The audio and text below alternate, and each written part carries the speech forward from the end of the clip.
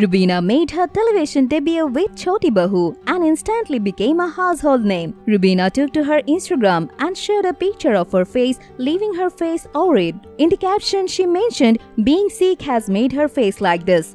Rubina's post reads, Fever, sore throat, infection, and I am frustrated and also laughing looking at myself. The fans dropped all the well wishes to her and asked her to take very good care.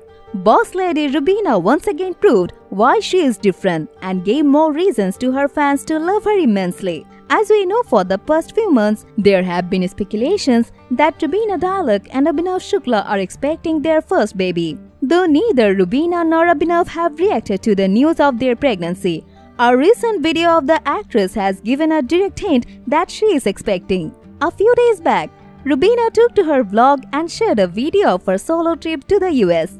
In the video, the actress gave glimpses of her journey from the beginning.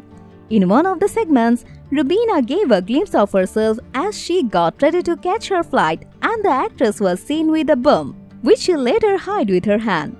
The latest glimpses of Rubina made her fans happy, who are still eagerly waiting for the actress to announce her pregnancy news. Rubina took to her IG handle and dropped a transition reel wherein she could be seen looking stunning in two cute dresses.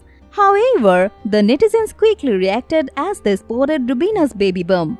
Reacting to the reel, the netizens started dropping comments about the diva's pregnancy rumors. A few days back, the report by the Hindustan Times gave an update about Rubina Dilaik's pregnancy rumors.